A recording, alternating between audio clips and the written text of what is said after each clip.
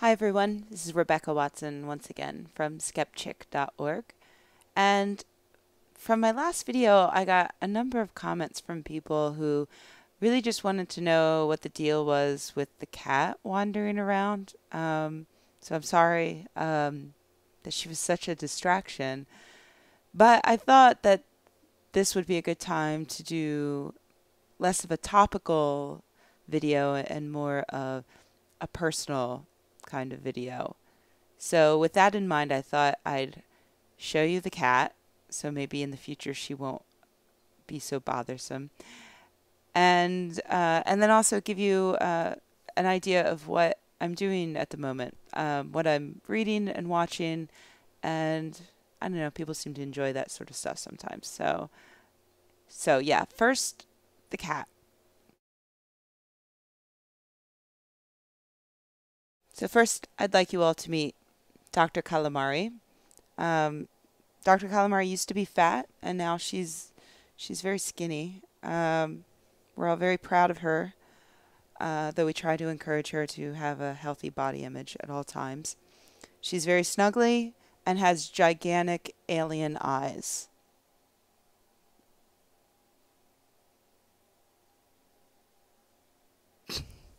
okay. So, other things, I just thought I'd briefly mention what I'm reading right now because just earlier this morning I finished up an interview with Bruce Hood, who just wrote a great book called Super Sense Why We Believe in the Unbelievable.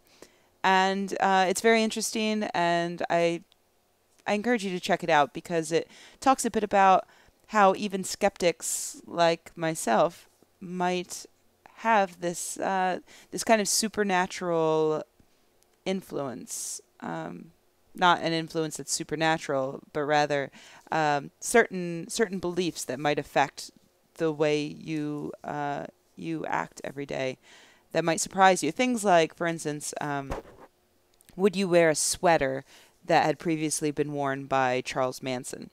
Even a lot of rational people would kind of bristle at the thought of that. So Bruce explores the origins of that and why um, why we have these kind of remnants of supernatural belief that aren't entirely logical or rational. So that's interesting. Right now, I'm reading Until Earth Set by Blake Stacey. He's yes a friend of mine, um, and I'm not usually that into science fiction when it comes to literature. I read a lot of nonfiction usually, um, but I I'm quite enjoying it. He's Blake is a, a brilliant guy, and it really shows in the writing. And Blake didn't mention this to me, but I found out soon after starting the book that fried beer makes an appearance. And if you've checked out some of my other videos, you know that I've had frying parties, which Blake has attended um, during which I fry beer, and it's delicious. So I'm kind of sort of in this book in a way. Let's say my essence is in this book, but not in a dirty way.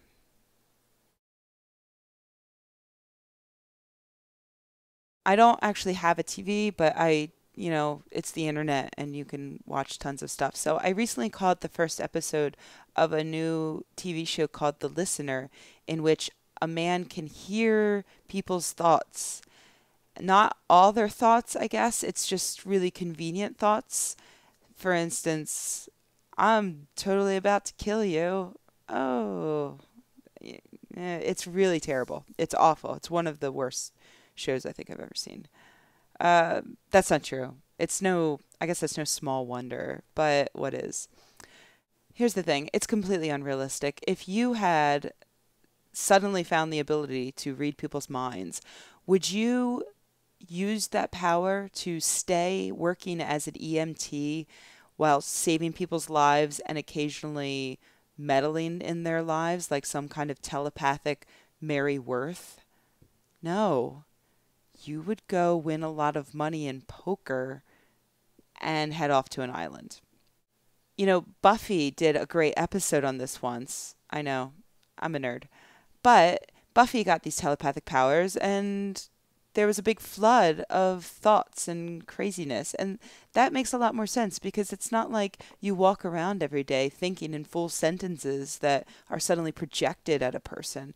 For instance, in the first few seconds of this show, the guy's walking down the street and he passes a beautiful woman coming in the opposite direction and he reads her mind.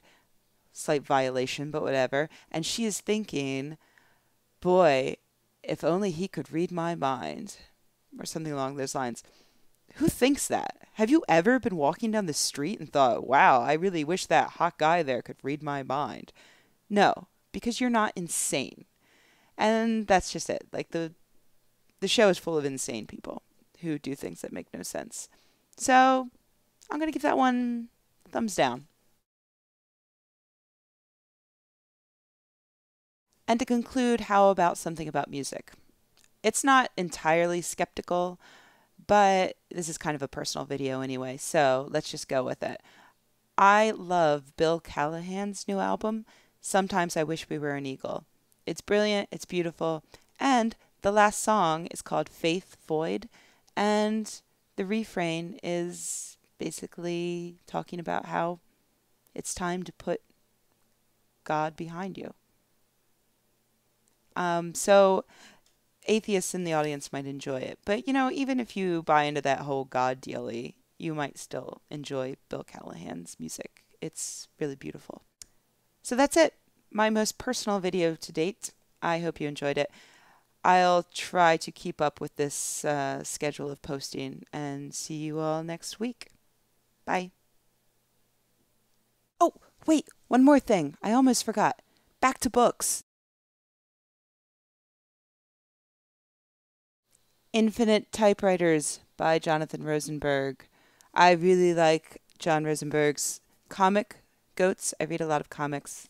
His is particularly good, and it's been running for quite a while. And he's got a book, and it's fantastic. It's beautiful, colorful, glossy, and violent. And in the first few pages, someone tricks God into turning into a pork chop, and then they eat him. God dies in the first few pages, and then because he because he turned into a pork chop. It's brilliant. So go buy this if you like graphic novels and heresy and um, goats and chickens that are trying to rule the world. That's all.